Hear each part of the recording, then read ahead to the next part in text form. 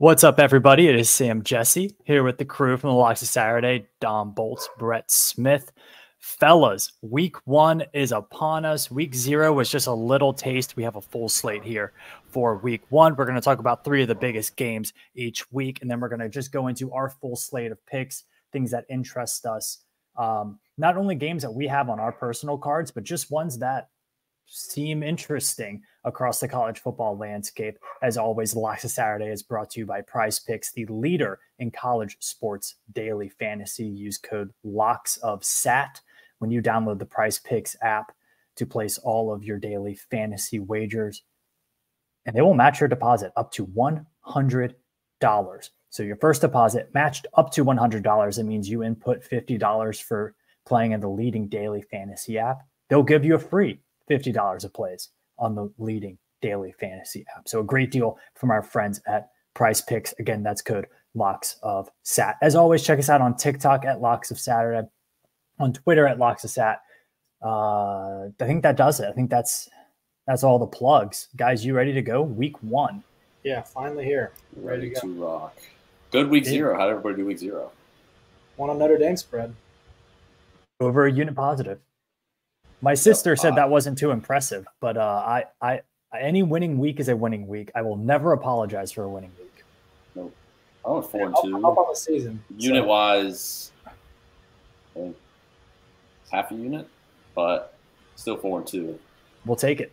It's nice we to say at some point in the season that I'm up money. That's not so that'll be sparing. So take a picture of the scoreboard. Yeah. All right. Well, hey, let's get into a Thursday night game happening at the stadium behind me at Rice Eccles Stadium in Salt Lake City, Utah. The Florida Gators traveling to Utah.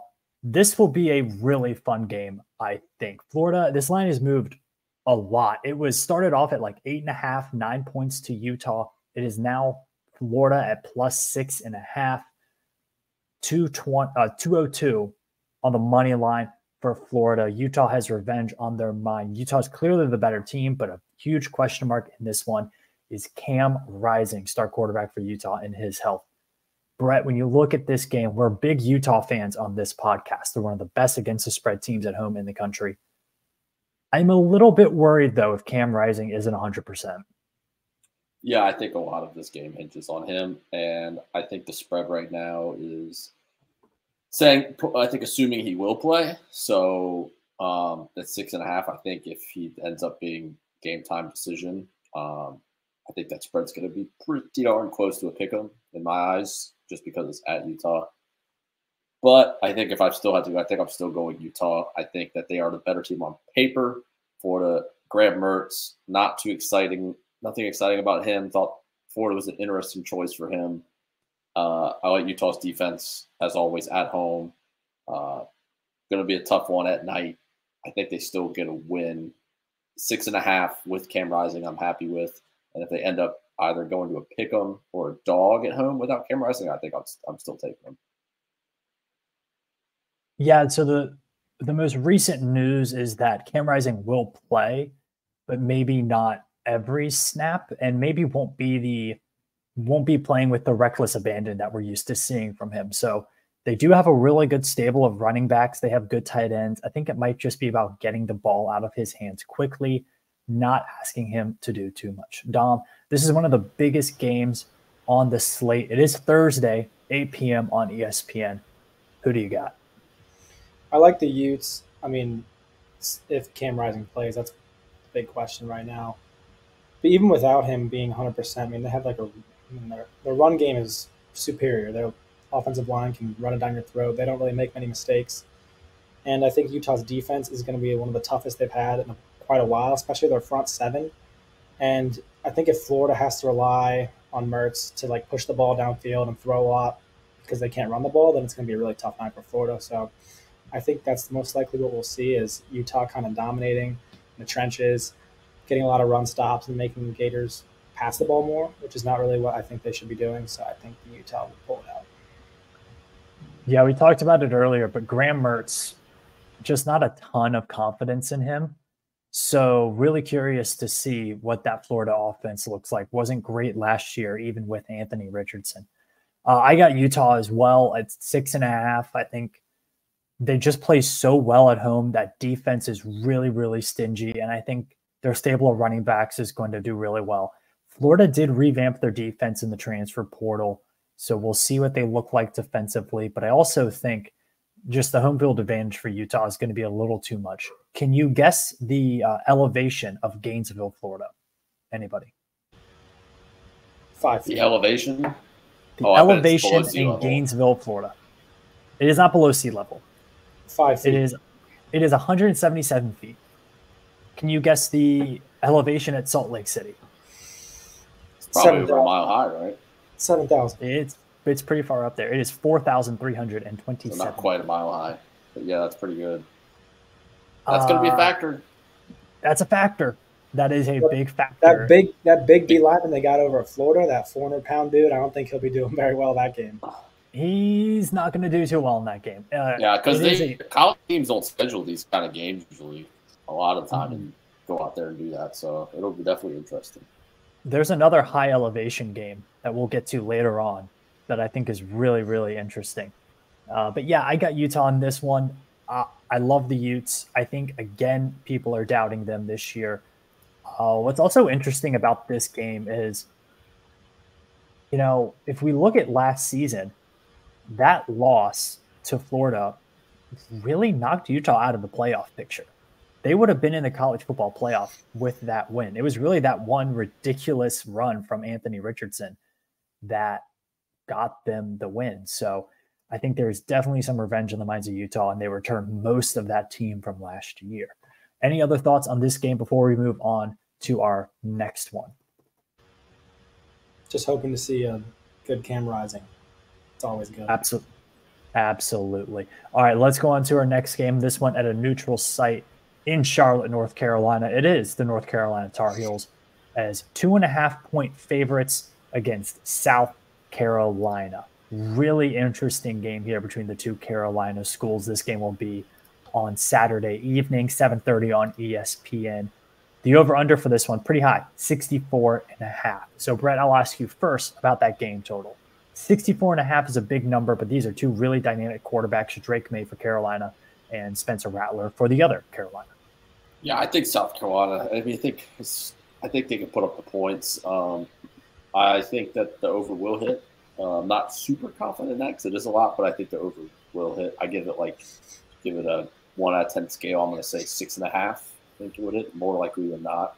Um, I think that's what the obviously it's always like set at 110. So shoot your choice, but I mean they that this team hung 62 Tennessee last year, and this UNC team is very similar to that Tennessee team last year. Very little defense, especially stuff over the top, but uh, a high-powered offense. And I think South Carolina is going to be able to hang some points over the top, especially with Antwane Wells Jr., preseason All-American, and Spencer Rattler. Obviously, been in college forever. He knows what's going on. Um, and UNC defense is by far has always been their biggest question mark, but this year especially, I think will be their biggest question mark. Um, they lost a lot, especially the secondary. They have nobody returning in the secondary, and they have guys from the three deep last year coming up to play. So, um, yeah, it's going to be interesting for UNC. I think you should expect to see Rattler throw the ball a ton. Yeah, and this Are we is a talking picks game. too? Yeah, you go want me to go give for my pick. pick? Yeah, go Yeah, for your South Car-. South Carolina money line. I've been hitting at this game all year already throughout the off season. Um, UNC, I think every year at the beginning of the year, they're super overrated. They get smacked in the mouth first few games, then they kind of get together in the middle of the season, and then they lose like one at last one or two games to finish like eight and four. And that's exactly. I think that's going to happen here. South Carolina is by far, but by far definitely a better coach team and definitely a tougher team. I think this is a really bad matchup for UNC for their first game. I think South Carolina. I think money line. Um, I think there's some alternate spreads you could take over two and a half. I think if you really want to get frisky, I think they win by ten, at least ten. Yeah, so right now, checking Action Network, uh, 54% of the bets are on South Carolina. This line has moved a point. It was one and a half to UNC. Now it is two and a half. Over under has increased a little bit as well from 62 and a half to that 64 and a half. Dom, your thoughts on the Tar Heels and Gamecocks? I'm actually surprised that UNC is the favorite because I just thought that after the end of after like the end of South Carolina season last year, that more people would be in on the hype and they beat like Tennessee and Clemson back to back, two top ten teams. Granted, they weren't both in like their best form with injuries, but still two big wins. And I think that South Carolina wins this game. They're going to come out trying to prove a point. Their point is we can compete at a national level and we can like compete with these SEC teams, ACC teams, anyone because that's what they want to be doing. They want to try to get in the college football playoff, which is a stretch at this point, but that's the type of hype that they have there. I have buddies who go there, and I know that they all think they're making a run for it this year. So I know there's a lot of hype in the program. And UNC, I think, is going to take a step down from last year. I think their offense just isn't going to be as potent as it was last year. They lost Josh Downs, not many proven weapons so far on offense. They're trying to still see about eligibility stuff. But I like the over because I think that both defenses suck. so and I like uh, USC to win this game, and I think USC wins big too. Yeah, I'm I'm curious to see what the defense for UNC looks like because, I mean, this could if it doesn't work out this year with Mack Brown and Gene Chizik, they we could be seeing a changing of the guard at UNC. I really do believe that. You, you will. It, you will. They they've had what one 10 win season since Mack Brown got there, and, and a lot of talent and a lot of talent. And it has consistently been a really, really poor defensive showing from UNC. In a bad conference, also. In a bad conference. I think South Carolina has a lot of momentum coming into this season. Uh, they had, you know, the wins against Tennessee and the wins against Clemson. But other than that, last year, they were a pretty poor team. Um, obviously, they play one of the toughest schedules in the country every year. But last year, they just really, really struggled in some sense. Spencer Rattler was not good in most games. I, I think UNC is going to, I, I think they're going to come out ready to play in this game. I don't know why, but I just do not trust South Carolina. I, I do not think that they're that talented of a team. And if I'm going to go in a really close game, I'm going to go with a better quarterback. There is zero doubt in my mind that Drake Maye is the better quarterback. And I think he's good enough to elevate them. Like, we're not just talking good college quarterback. This is a guy who's top two, top three overall pick in the in next year's draft. So I'm gonna I'm gonna put my money on Drake Maye and Carolina Blue.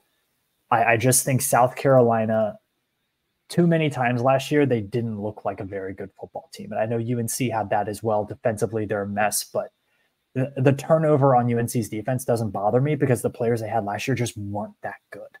Uh, highly rated players out of high school but they just weren't that good. So I'm not worried about the turnover uh, defensively for UNC. So I'm going to go North Carolina. Uh, I hate rooting for North Carolina, but as we always say, bet the numbers, not the teams.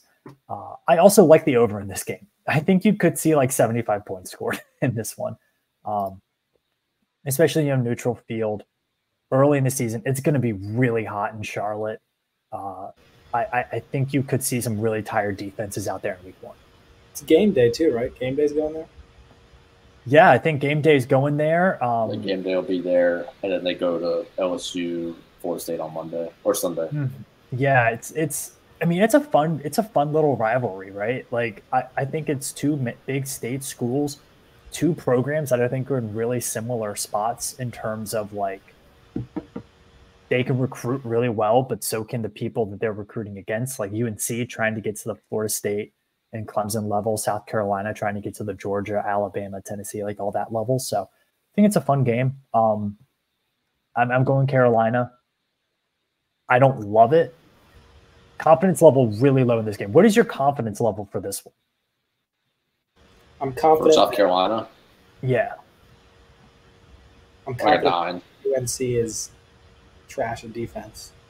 that's my. That's pretty much my whole reason that's you know it's it's a it's a fair enough reason. It's a fair enough reason. Well, let's go to two teams that historically are known for their defense and the what I think is just the game of the weekend, maybe one of the games of the year. It was one of the biggest games to start off last year. LSU, two and a half point favorites against Florida State in Orlando, Florida. Two Heisman hopeful quarterbacks, two playoff worthy teams uh, Florida State, the money line for them is at plus 116. The over under is at 55 and a half. And again, this game is on Sunday at 7:30 p.m. on ESPN. Uh, Brett, last year LSU really, really outplayed Florida State, but they just made too many big mistakes and they kept Florida State in the game. What's going to happen this year? Uh, I think LSU is going to win this game. Just, I think by more than I think probably by a touchdown or maybe a little more, just for the sole fact I think LSU made some big mistakes on the stretch, and Florida State I mean, missed extra points. And Florida State, you know, that game went to overtime. Who knows what would have happened? Uh, we might have a different conversation about that Florida State team. So I think LSU is a sneaky team. We talked about the SEC preview. I think they're a sneaky team in the SEC this year. Jayden Daniels, I think there's definitely some money there for him on the Heisman. I think he is electric player. He coming from Arizona State, people questioned LSU. Like, I mean, he really he was good, but he wasn't that great, especially down the stretch last year, beating Alabama pretty much by himself. Uh, I mean, he really showed some flashes, and I think this LSU team as a whole is definitely better.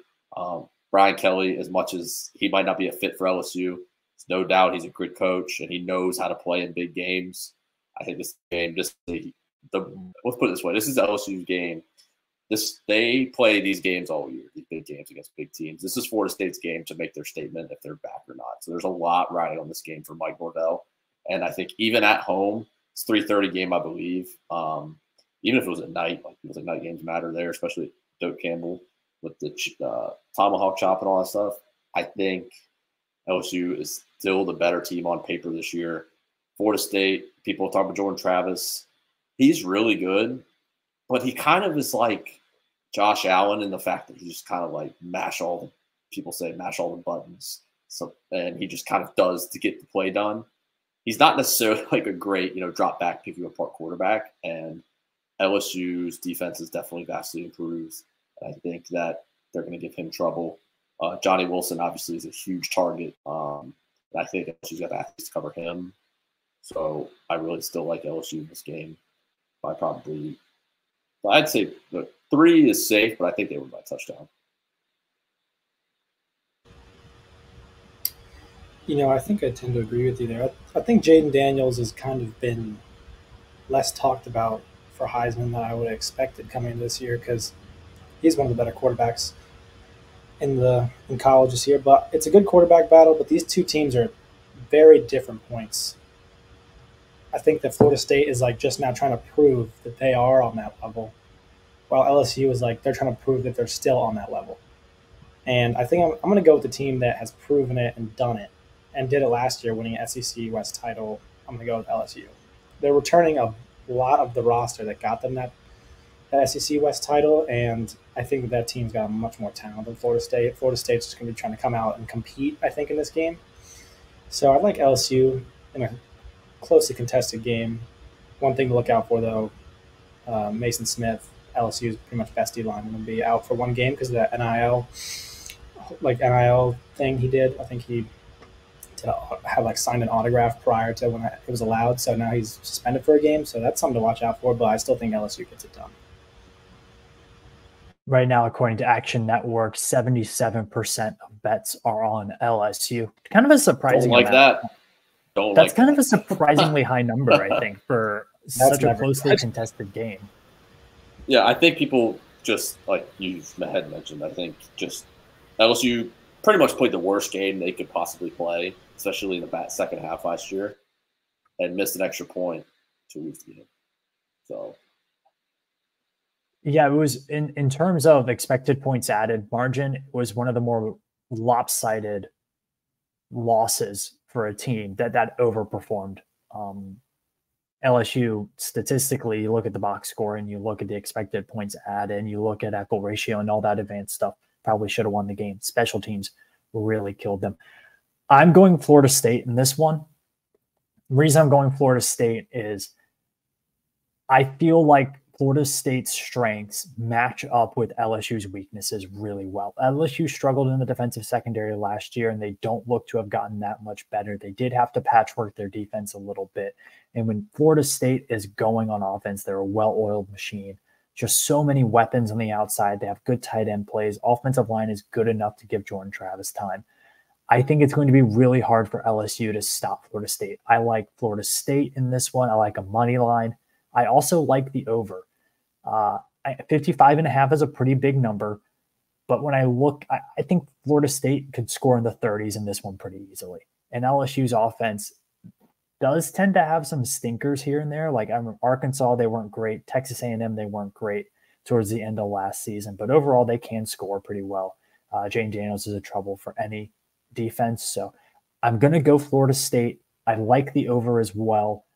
I think this is going to be a really fun game. Should be a Florida State pro crowd in Orlando, as it, last year was mostly LSU. That game happening in New Orleans. That's right. I wish they would have just played this home and home. Yeah, I, I thought they did. That's why I thought forgot. But I just remembered that it's in Orlando. I understand wanting to play this game in New Orleans and in Orlando. Just like you're right I'd there. Much see it in Death Valley and see it at Doak Campbell. Yeah, yeah. I um, I I think if you're going to take Florida State, you take money line. Don't take the spread here. I think yeah, that's the play. I, I agree. And you have plus 116 is not a ton of value in this one, but it's a little bit better. Um, looking at what the payout for their spread is, I'm, I'm going to guess minus 110. So, yeah, you get a little bit more value at the money line. I think if Florida State is close or wins this game, I think they're going to do so like convincingly. Like, I think it's going to be because they have something in the matchups that LSU doesn't have. Um, you know, I, I don't see six seven wide receiver. yeah, that'll do it. That'll do it. Um, a six seven wide receiver will in fact do it. Yeah, I, I like Florida State in this one. I'm I'm buying Florida State this year. I'm buying them, and I I don't know if I love that, but I'm doing it. I'm buying them outside of this game. I think they can run the table in the ACC. I just think this is a tough one. If they if they win this if they win this game, it's going to be really hard for me not to bet them to make the college football playoff. Yeah, absolutely. I think it's totally fair to say.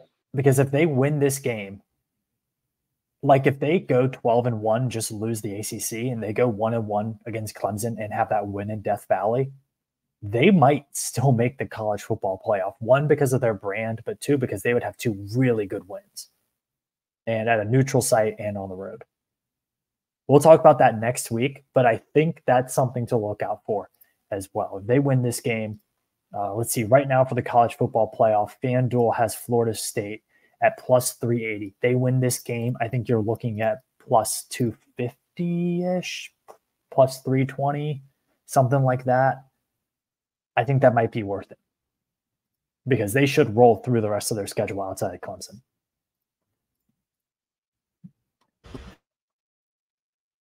All right. Rest of the week huge, huge slate of games. Brett, we'll go with you. Just give us a couple games you love, over unders you love, or even games that you're just simply interested in. I have a couple of those myself. So uh, let's just go for it. You want to start one. ripping them off? Um, so let's talk about. I'll talk about some fun ones. Week one, Miami Bowl. That's awesome. yes, of course, the Miami Bowl. Who could forget? Actually, I like. I just actually placed it myself. I got Miami Ohio over 17. So it's three scores. I think I like Miami of Ohio. Brett Gabbert, Blaine Gabbert's brother, really good. Was in the transfer portal, but ended up not uh, ended up going back to Miami of Ohio. I think because he, he went in the portal super late and everybody kind of filled up, so he missed out his opportunity. My guess is has a really good year. He's back in next year, and you'll see him on a Big Ten team. That's just my opinion. Um, I actually like Miami of Ohio there. Um, I think Miami always starts the year slow. That's how it's kind of been for them, even on second year with Tyler Van Dyke. I think, uh, or third year, I guess, um, was not impressed with them last year. This is, a, I think, this is a big year for Cristobal, even though it's only second year. Um, but I still like Miami Ohio plus seventeen. Uh, I like Clemson minus 13 over Duke. I think Duke's not nearly as good as they were last year. I think they're a little overrated because they overperformed last year because of crazy turnover margin. Uh, I think Clemson is vastly improved across the board, especially with quarterback we talked about last week. Klubnik is uh, definitely better in terms of he should have been the starter. I think week like three last year. They should have just pulled the trigger, even when they knew they probably weren't as good, so they should have just let it ride. Um, we're talking about Utah, LSU. Uh, let's see what else I like. Oh, trying to go through the list here. Um, I like I, actually Thursday night mm-hmm. under 46 and a half North Carolina State UConn. I think under 46 yep. and a half. I think NC State's offense is going to be really bad this year. I think mm-hmm. over. I think just because even with Brennan Armstrong, I don't think they're going to put up a ton of points. I think their defense, they're going to run on the defense. Also on offensive line, Armstrong doesn't really have any weapons around him. I think it's, he's going to have to do it all himself. First game jitters. UConn at night. A lot of momentum in that program with Jim Mora Jr. I really like the under there. I think LSU wins the game. I think NC State might win the game like 23 to like 10. I think that's what you're going to see. Um, then Dom, I also, what do you got? Oh, you got it. Keep going. No, I got I got a bunch. So you, you, got a bunch. All right. You can flip around. Yeah. Um, ODU plus 16 against Virginia Tech. I think that really. Tech, oh wow. Yeah. Oh yeah. Oh yeah. I'm going there. I'm going there. I think the Tech wins, and I think it'll be like not that close throughout. But I think they cap it at 14. I don't. I don't trust Tech to blow out ODU from what I've seen, and I've seen ODU with some pretty talent. They've got this one receiver who's like crazy fast, and I could see him torching us for like three touchdowns. So I'm just going to say, that, is that emotional edge? It may be. It might be. You know, I'm going to say it's not, but it definitely is. ODU plus 16. I'll beat the game, so I mean, I hope to God the Tech wins. Um, Colorado plus 21 or plus 20 and a half. Just because. Okay, let's let's talk about that game. Is that because 20 and a half 20 is a lot of points a lot of points right? yeah. 20 is a lot from a team that you don't you haven't really seen a ton from like you don't know how good they are so i think there's like chance well, well right because they all played in the fcs last year yeah exactly i mean like they were good they were good there will it translate now's the time to see so i'm gonna take 21 travis hunter will up... translate not yeah. Shedeur Sanders immediately. Yeah. Shedeur Sanders half the season might. I think Travis Hunter immediately makes an impact. Shedeur Sanders. I'm look. I'm looking this one up on Action Network right now. Uh, 61% of bets are on Colorado. Love that TCU. All right. At TCU. It's not good for me, but we'll keep it rolling. And then you know I, I don't hate it. I don't hate it. I'll tell you that. I wouldn't bet it, but I, I don't hate it. Yeah. It's just a fun one. Next, um, Utah State plus 25 against Iowa. I think Iowa's going to win, but I don't trust Iowa to score 25 points. Honestly, I think I'm taking the under on that game. Actually, so yeah, for sure. Picks, so I, I, think I'm taking. I am. I am on Utah State as well. Uh, they, think... they should be healthy at quarterback this year with like like let's I like Utah State to cover there. A lot of points. Yeah, I just don't think Iowa's going to score 20. I think they get 24 points, and that's that'll just be it. They could hold them to zero and you cover. So, um, how about we go to you, Sam? Come back to me. You, go to me. Okay, there are a couple that I got. Um, I like the I like the UConn NC State under. I am a little worried though that we might see, you know, prime Brennan Armstrong against UConn and feel kind of dumb with that one. But I don't know. You, NC State does not have a ton of offensive weaponry. Uh, I really like Hawaii plus four and a half at home against Stanford. Stanford is Dude. terrible. They are yeah, god really awful, and you're getting four and a half. Hawaii looked pretty good against Vanderbilt. Yeah, they look really good. I mean, it was really just a, a, goal line interception. That was the difference in that game. Uh, look, Hawaii's never been not good defensively, but I, I, think Stanford is really bad. You're getting four and a half points at home on the island. I like Hawaii there uh, keeping it out west for a couple. Uh, we talked about Utah State. Colorado State plus 11 and a half at home against Washington State. Colorado State should be vastly improved. They return a lot of talent. And I, again, they're a team that was like, like Utah State was really injured last year and could never really get a foothold. If they're healthy, which they look like they should be, Washington State didn't impress me too much last year. Uh, Cam Ward was iffy. So uh, I like Colorado State at home. And then the Roadrunners, meet me, Utah, uh, UT San Antonio. They're minus one and a half. Houston, another one of the worst Power Five teams in football. Uh, Houston has zero home field advantage whatsoever. I like UTSA in that one. Frank Harris coming back um, from a really, really terrible medical scare. Uh, had an infection in his knee after surgery. Didn't know if he'd be able to ever play or let alone walk again and here he is uh, going to start his fifth year for the Roadrunners. So I, I like Frank Harris. I like UTSA. I have that on the card as well. Yep, I like that one. Um, and the last one I'll go for this one is Western Kentucky minus 12 and a half against South Florida. They might score 70 points. Yeah, that's gonna be awesome. So, and they get at home. Austin, Austin ridiculous. He's stat pattern. It's going to be like the fourth round of the draft, and somebody's going to take him, and it's going to be a really interesting conversation in training camp. He the the dude can sling the football. Yeah, he's better than Bailey Zappe. Yes, he's better than Bailey Zappe. Yeah. Who set NCAA records, I believe. Yeah. Yeah. So he's, yeah, uh, he's, better. he's definitely more likely to have a pro career. I won't. I mean, I, I think it's going to be a battle between Zappe and Mac Jones this year, just because the Patriots have a lot going on. But we're not an NFL podcast. Before y'all get to one, this is one that I haven't decided on, and I'm curious to see what you think. Boise State plus 14 and a half at Washington. 14 and a half is a lot of points. Boise State won 10 plus games last year, is returning a lot of talent. I think Washington, that's tough. That's a lot of, I think that's a lot of points, even at home. I think, yeah. uh, I think if they don't cover, I think they're that means they're probably almost going to lose. I don't think they win by like 10. I think they're either going to win by three in a knockdown drag out at home, or they're going to, Michael Penix is going to throw for 480 yards, and it's going to be like I see that. Four scores. I see Washington winning and Penix going crazy. That's pretty much all there is to it. Yeah. Well, I don't even think it would be because Boise State's defense isn't good. I think it would be because their offense just can't stay on the field, and Washington just keeps getting possession after possession after possession. Um, I think that's a really interesting game. One you should definitely watch because it's two teams that they ex- they almost expect to be in the New Year's Six Bowl this year. Like if it's going to happen for Washington, it's this year. And Boise State, I think they ran through the Mountain West last year. Mountain West is down again. Uh, they have big hopes as well. So this that's an interesting one. That game is at three thirty. Um, Brett, back to you. Let's see. I like Penn State. A lot of points, but I, I'm I'm eating the points 20 and a half at home against West Virginia. West Virginia mm-hmm. is going to be really bad this year. I think Neal Brown's done, doesn't make it through the season. We talked about that in the Big 12 preview.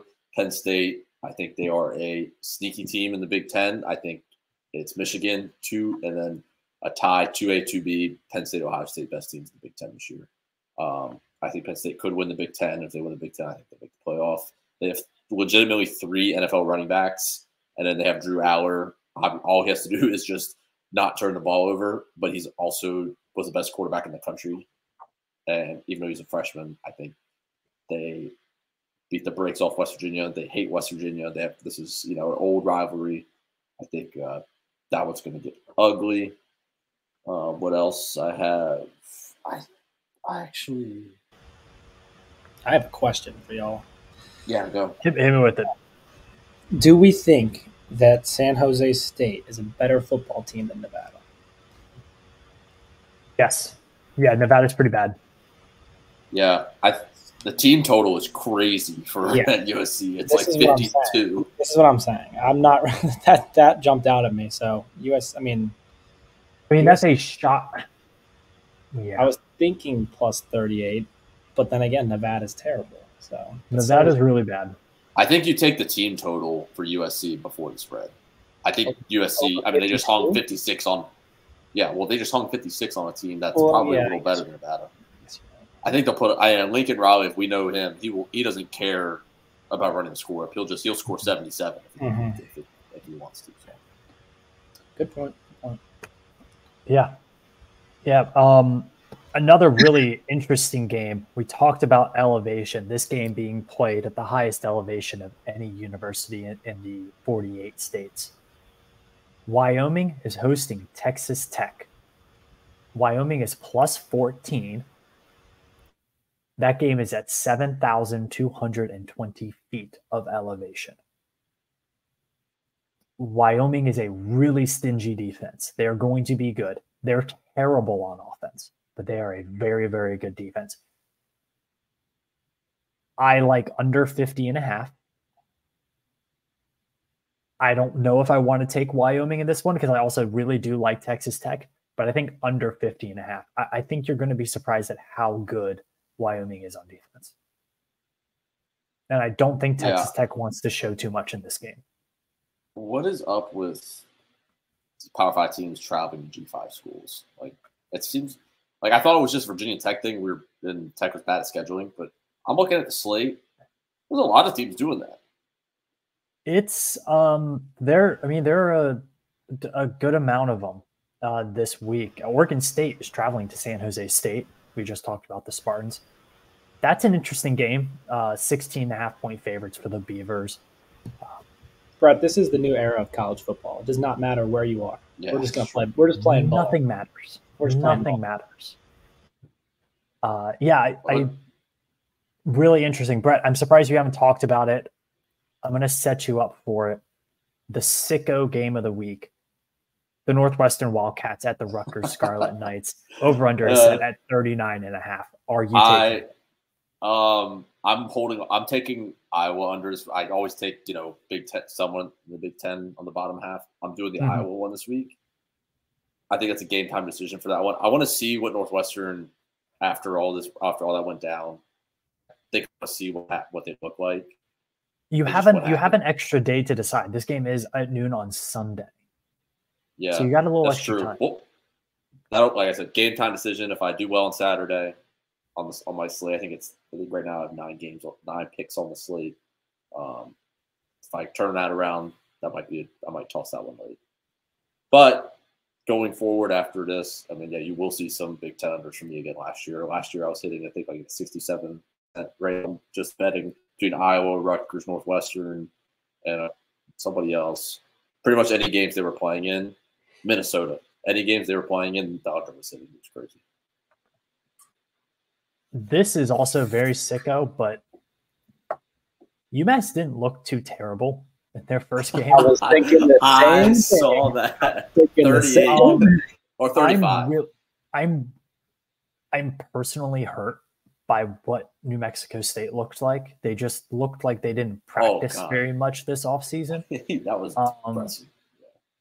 and they ended up they got it together towards the end but d- defensively they were shot 35 and a half is a lot of points for a team that is quite literally brand new at auburn um i'm a little worried that just the size is going to play an issue in this game and we see this with the sec teams early like they cover these ridiculous spreads because they lean on the other team and they can just run the ball up the middle. Like Alabama does this all the time.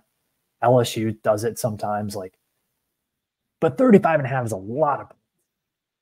And I'll tell you, Yeah. if UMass UMass had some dudes. They they looked like a D1 football team where they normally do not. They proved they could win a football game last week. So no. They Yeah. did in New fact Me- win a football game. New Mexico got to get rid of the ponchos now. They were so sick, but they got to get rid of them. Oh gosh, they they just yeah they they had trouble. You can't wear. I'm not giving You up. I'm not giving up. poncho.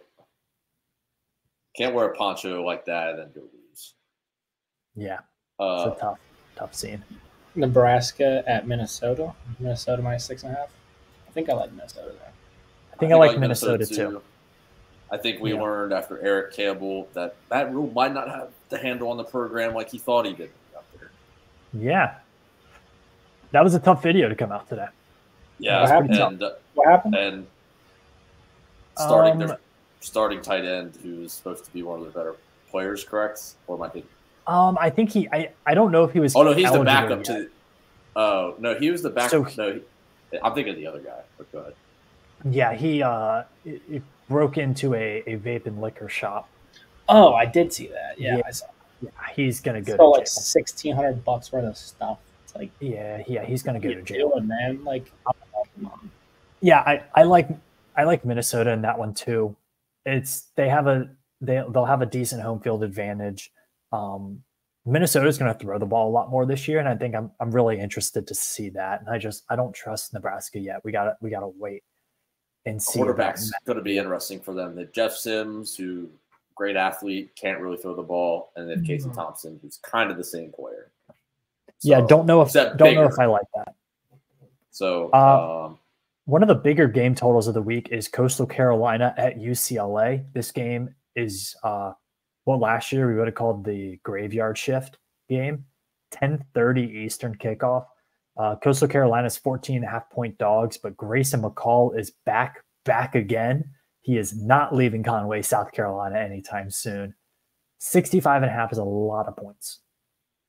Oh, Jamey Chadwell, so that kind of scares me. Um, who knows? They might they might do better. I don't know. Kind of Yeah. Neg last year, so They're pretty bad defensively last year. Well, one of the worst in college football. Going up against Chip Kelly. Carson Steele, sneaky Carson Pac Steele. twelve, sneaky Pac twelve player of the year. That's a good one. That's a good one. Um, so Boom. yeah, I Give me Bo I- next. uh, we have. Let's see. Where where is it all? Is Working playing this weekend? I are they? I, I didn't see him. Portland Uh, State playing Oh, Portland. that's Playing why. Portland State, so there's been- That's been why an it's not uphill on the slate. for that one. Uh, We haven't Oregon- talked about Oregon- one yet. the I Battle know of what the- I haven't seen. I don't have the line in front of me because we're in the state of Virginia, Tennessee, and Virginia. Anybody know what the line is right now? Um. 28 I- Tennessee. 28. Yeah, yeah. I, I think, I think you take ten. I think you just don't watch that one. If I'm going to be totally honest with you, if you want to see something absolutely disgusting, look up the game that UVA played at Tennessee in the mid '90s. It's the worst uniform matchup in the history of college football. Trust me, Yeah. it what, is. what colorways are we going with? What colorways? Um, Tennessee was wearing their white helmet, orange jersey, and orange pants. UVA was wearing their uh, orange helmet, white jersey, and orange pants. Oh. Except you have two slightly different shades of orange. It's hideous. It's revolting. Yeah, that. Yeah, don't you never Yeah. watch that? yeah, look up that picture online. It is, it's shocking. Uh, I'm, I'm looking up. I, I'm curious to see what level of bets there are on Tennessee for that game. That game's being played in Atlanta, correct? Yes. Yeah, so it's uh, 28 points, uh, minus 28 for Tennessee. 60% of the bets are on Tennessee. 28 is a lot of points, but I'm, yeah, UVA is is going to be pretty pretty bad. How many UVA fans do you see making that trip to Atlanta? 12. Maybe yeah, like five. Yeah, I don't I don't know. Uh, that's it's going to be a lot of Tennessee fans there in Atlanta. Not too not too bad of a drive from Central Tennessee to to there. All right, guys. Anything else? There is one game that I didn't want to talk about. I think can be really interesting. That is South Alabama at Tulane. Two teams that won ten plus games last year, and two teams that have conference title aspirations. South Alabama, watch out for them. They return some of the most talent in the country. They were really good last year in the Sun Belt. Uh, they are six and a half point dogs in New Orleans for that game. Two things. One, really, really tough game for Tulane to repeat um, as a New Six team. However, Tulane gets Ole Miss at home and they get this South Alabama team at home. Both of those teams could be in the top 25 very regularly this year. If Tulane runs the table, I'm just saying Cincinnati did it a few years ago. Cincinnati has started way higher. That's They did. that's the thing. They started at But six in the country. I would say I would say between Texas, San Antonio, South Alabama, and Ole Miss, Tulane might have three higher ranked wins than Cincinnati did. Because remember that Indiana team that they beat stunk, Oh yeah, they were really bad. and that Notre Dame team they played Wasn't that they great. beat only went eight and four, I think. yeah, yeah, they, yeah, they weren't they weren't that great. Yeah, Tech almost beat them that year. They should have beat them. But yeah, so I think Tulane ten, Tulane could have one of the better resumes in this one. Um, really interesting. I'm just saying. I'm just saying. Um, and I think South Alabama is a really good team, and um, I think that's a really interesting game. I don't have a pick either way at six and a half. I think that line is pretty correct. Uh, we'll see what Tulane looks like without Spears on offense, but I think it's a really fun game. If you have a chance to tune into it, we should watch it.